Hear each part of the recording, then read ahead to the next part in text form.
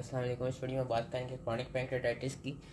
Chronic pancreatitis का ये पता होना चाहिए कि it occurs due to prolong inflammation of pancreas which is associated with irreversible destruction of exocrine parenchyma fibrosis and in the late stages there is loss of endocrine parenchyma acute में क्या था? Acute में reversible destruction थी damage थी parenchyma की whereas यहाँ पे irreversible destruction हो गई है एंड मोस्ट कॉमन फीचर जो कि हर क्रॉनिक डिज़ीज़ में मिलते हैं there is fibrosis present most common cause जो कि है क्रॉनिक पैंक्रेटाइटिस का that is your long term alcohol use and इसके साथ साथ और कौन कौन से कॉजेज हैं? There is long standing obstruction of pancreatic duct by calculi और न्यूप्लाज्म ऑटोम्यून इंजरी या हेरिडेटरी फैक्टर्स पैथोजेनेसिस क्या है कि there is usually repeated episodes of acute pancreatitis और जो एक्यूट पैंक्रेटाइटिस होता है it basically initiates a sequence of perilobular fibrosis duct distortion and altered secretions which as a uh, that as a result of recurrent injury leads to loss of exocrine parenchyma and fibrosis and chronic के case में हमें जो फाइब्रोजेनिक factors हैं वो ज़्यादा chronic pancreatitis की case में जो फाइब्रोजेनिक फैक्टर्स होते हैं दे मोस्ट कॉमनली प्रिडोमिनेट हम जिसमें हमारे पास एग्जांपल आ जाती हैं ट्रांसफॉर्मिंग ग्रोथ फैक्टर बीटा की या प्लेटेड ड्रैग ग्रोथ फैक्टर्स की ये वाले फैक्टर्स ज़्यादा बड़े हुए होते हैं and they induce the activation and proliferation of pancreatic stellate cells and they also increase collagen deposition and also fibrosis इसकी हम मॉर्फोलॉजी में आ जाते हैं, जो ऑटोम्यून वाला है, वो मैं मॉर्फोलॉजी के थ्रू ही समझा दूँगा कि जो क्रॉनिक पैंक्रेटाइज पैंक्रेटाइटिस है it is characterized by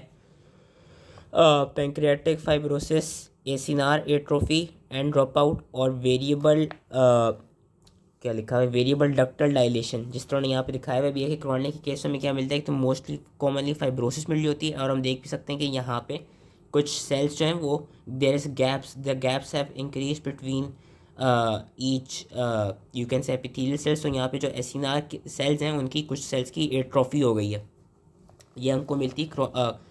chronic pancreatitis के केस में। ग्रॉसली क्या होता है, जो ग्लैंड है दैट इज़ हार्ड और इसमें कभी कभी हमको विजिबली डायलेटेड डक्ट्स नज़र आ रहे होते हैं containing calcified concretions inflammatory infiltrate जो होगा, वो क्या कहते हैं, वो क्रॉनिक इन्फ्लेमेटरी इन्फिल्ट्रेट ही होगा and would be surrounding lobules and your ducts and there would be अच्छा ये याद रखना है कि जो एसिनार सेल्स हैं, उनका तो डैमेज हो रहा होगा, उनकी ट्रॉफी हुई होगी, लेकिन जो आईलेट्स होंगे आईलेट्स की स्पेयरिंग होगी। There will not be any damage to या इतना ज़्यादा डैमेज आईलेट ऑफ़ लेंगर है में कोई डैमेज इतना नहीं होगा। जो डक्टल एपिथीलियम होगा that might be atrophic hyperplastic और मेटाप्लास्टिक जिसमें वो स्कॉमस बन चुका होगा। एल्कोहल अब्यूज़ की वजह से ये देखा गया कि जो डक्टल डायलेशन होती है और जो इंट्रा ये कहते हैं एल्कोहल अब्यूज़ में बेसिकली ये देखा गया कि there is ductal dilation and intraluminal protein plugs and calcification जिसकी उन्होंने यहाँ पे दिखाई हुई है। फिगर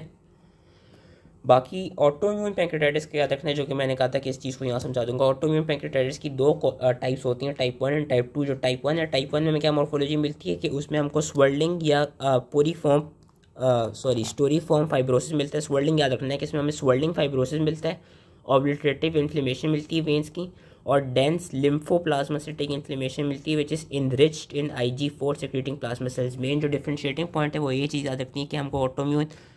पैंक्रेटाइटिस टाइप वन में I G four secreting plasma cells ज़्यादा मिल रहे होते हैं and these dense lymphoplasmacytic inflammation whereas autoimmune pancreatitis type two में हमको न्यूट्रोफिल का इन्फिल्ट्रेट ज़्यादा मिल रहा होता है within the lumen and within the epithelium और हाँ ये चीज़ डिफ्रेंशिएटिंग थी कि जो टाइप टू होता है टाइप टू में I G four secreting plasma cells ही मिलते इसमें हमें न्यूट्रोफिलिक इन्फिल्ट्रेट मिलता है, जो कि के अंदर होता है and medium size pancreatic ducts के लूमन के अंदर होता है, जिसको हम ग्रेनुलोसिटिक एपिथीलियल लीजन भी कहते हैं। क्लिनिकल फीचर्स क्या होते हैं? क्लिनिकल फीचर्स क्रॉनिक पैंक्रेटाइटिस के mild to moderate abdominal pain होगा या persistent abdominal and back pain होगा and this abdominal and back pain would be precipitated by excessive alcohol consumption by overeating या by the use of opiate या any other drug which increase the uh, tone of of Oddi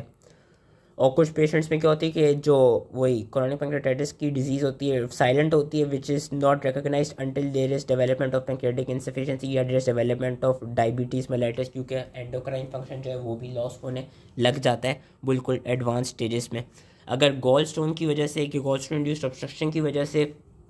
chronic pancreatitis चल रहा तो उस case में जो patient होगा it he would he और she would present with jaundice and elevated serum alkaline phosphatase कभी कभी हमें वेट लॉस भी मिल रहा होता है और एडिमा भी मिल रहा होता है फर्दर डायग्नोसिस को कंफर्म करने के लिए। लेकिन ये चीज़ याद रखनी है जो क्रॉनिक पैंक्रेटाइटिस है, वो इतनी लाइफ थ्रेटनिंग नहीं होती compare to your acute pancreatitis तो क्रॉनिक पैंक्रेटाइटिस का इतना सही था होप इसलिए समझ में आ गया हो एंड थैंक यू